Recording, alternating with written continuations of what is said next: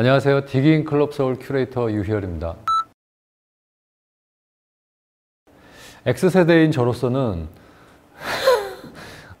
너무 자연스러운 흐름이고요. 유행이 돌고 도니까 새로운 것들을 찾아내는 이제 이 젊은 세대들의 흐름이 80년대, 90년대까지 꽂혀 있는 것 같아요. 또 다음에는 또 어떠한 트렌드가 뭐 올지 모르겠네요.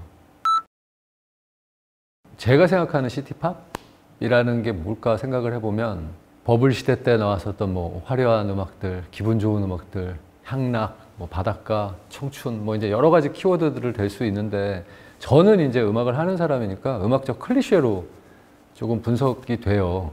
그러니까 첫 번째가 일단 펑키한 드럼과 베이스 가 기본으로 깔려 있고요. 그 다음에 일렉트릭 기타의 막 화려한 이런 스트록, 스트링 오케스트라가 쫙 나오는 펼쳐지는 그리고 예전에는 단순한 코드, 락 음악 혹은 트로트 음악에서 보여줬었던 단순한 코드가 아니고 이제 조금 복잡해지는 코드들, 화성이 이제 복잡해지고요. 신디사이저의 확 등장.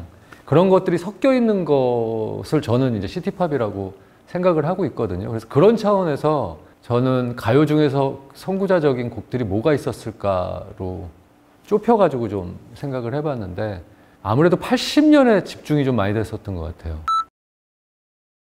저는 첫 번째 곡으로 저한테 가장 충격적인 윤수일 밴드의 아름다워가 정말 시대를 앞서간 곡이라고 생각을 합니다.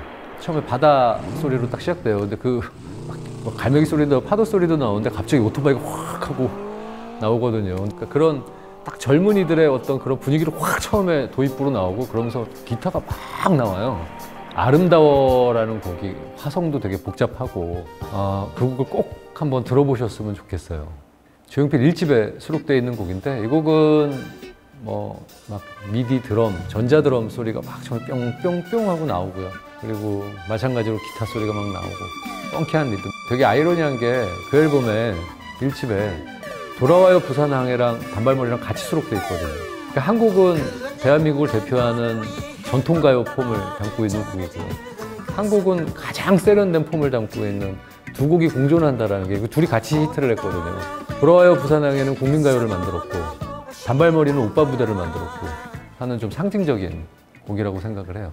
김트리오가 이제 그 가족 밴드거든요. 이분들이 세 분 다 부모님들도 다 음악 하셨던 분들이시고 미국으로 유학을 나가가지고 거기서 한 분 한 분씩 거의 multi-instrumentalist가 돼서 악기 연주를 너무너무 잘하시는 분들이에요. 지금 들어도 전혀 촌스럽지 않은 곡이고요. 이 곡도 좀 아이러니해요.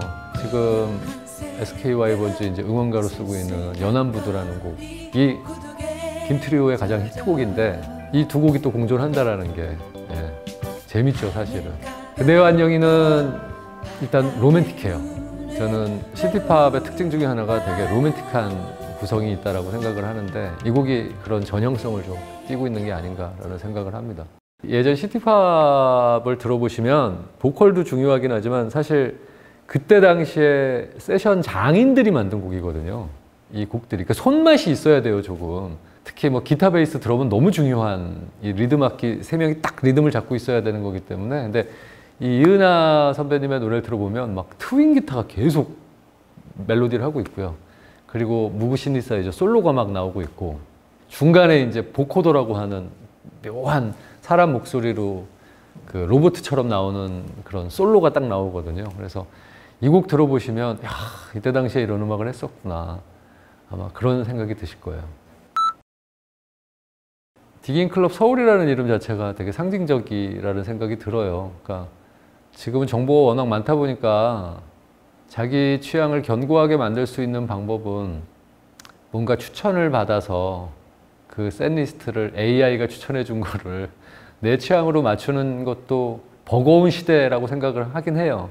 근데 문화의 즐거움은 개인적 디깅에서 오는 그 쾌감이 첫 번째라고 생각을 합니다. 내가 무엇인가를 좋아했다면 이게 시작이 뭐였지라는 첫 번째 의문점을 가진다면 아마 정말 말 그대로 보물선을 만나실 수 있을 거라고 생각을 하고요. 열심히들 디깅하셔서 자기만의 샌리스트를 꽉꽉 채우시길 바라겠습니다.